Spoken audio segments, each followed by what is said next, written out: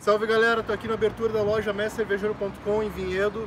A loja está começando aí com mais ou menos 100 rótulos. Ela tem 50 metros de loja, mais um espaçozinho ali em cima bem legal. Vai ser para confraria, para pequenos eventos. E tem essa área externa aqui maravilhosa para explorar. Bom, vou fazer hoje um vídeo falando sobre as cervejas da Delirium.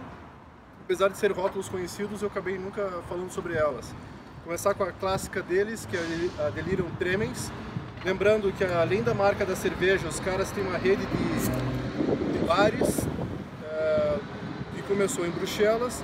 No Rio de Janeiro a gente tem dois e São Paulo tem um. É, por muito tempo Delirium colocava como a melhor carta de cerveja do mundo o bar. Eu tenho até inclusive um, um dos, dos, menus do primeiro lá de Bruxelas que tem mais de duas mil cervejas. Eles falavam que era a melhor carta com a maior quantidade de cervejas disponíveis num bar. É, eu não tenho essa informação se ainda hoje continua sendo assim, mas vamos lá. Vamos para a cerveja.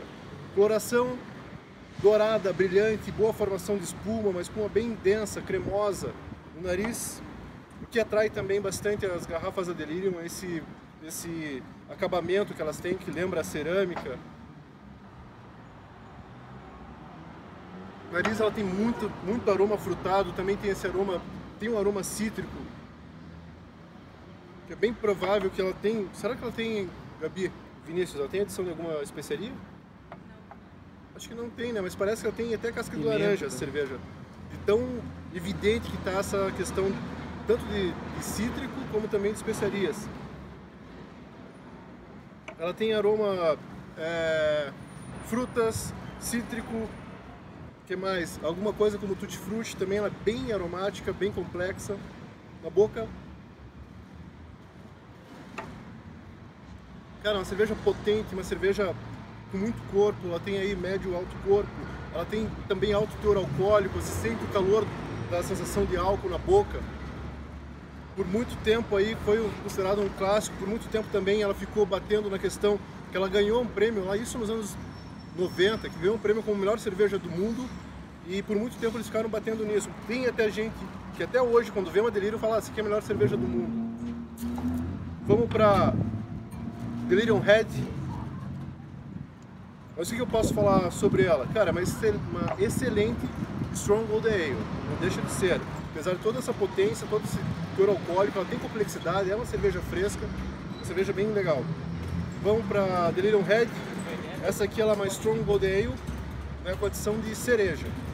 Coloração avermelhada, essa é, bem cor típica de cervejas com cereja, cervejas fruit beers, é, uma fina espuma no nariz.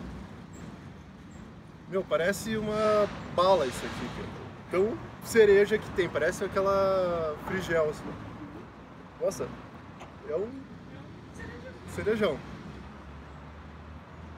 na boca. Se sente esse gosto da fruta, você sente o gosto de amargor. Ela tem um leve dulçor. Se duvidar, até a primeira é mais adocicada que a segunda. A segunda perfil bem mais adocicado, perfil com fruta muito evidente, mas ela tem amargor.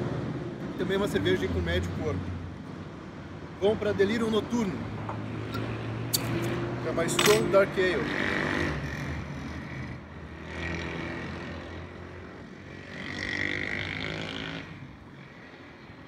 Cervejas belgas né, com uma, sempre uma boa formação de espuma, por isso que é adequado para esse tipo de serviço, aquela taça de formato ou goblet ou snifter. Excelente formação de espuma, coloração acastanhada, reflexos alaranjados no nariz, Cara, se tem caramelo, tem um pouquinho de toffee, mas se tem ainda esse perfil frutado que a primeira cerveja tem na boca.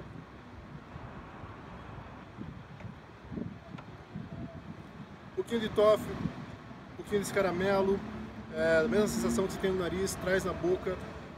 O dulçor presente também, como a gente sente nas outras, e um amargor que não é tão intenso como a, como a primeira, mas continua lá.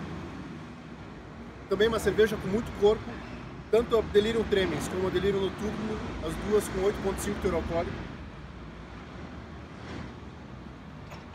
Cerveja alcoólica, uma cerveja aí até essa sensação de álcool, traz a sensação de, de calor. É... Cara, cervejas que tem que provar, cervejas, né, a marca é uma, uma marca clássica, é, tanto do universo cervejeiro como um todo, principalmente das cervejas belgas. E ainda eles têm um terceiro, um quarto rótulo que é a Delirium Noel.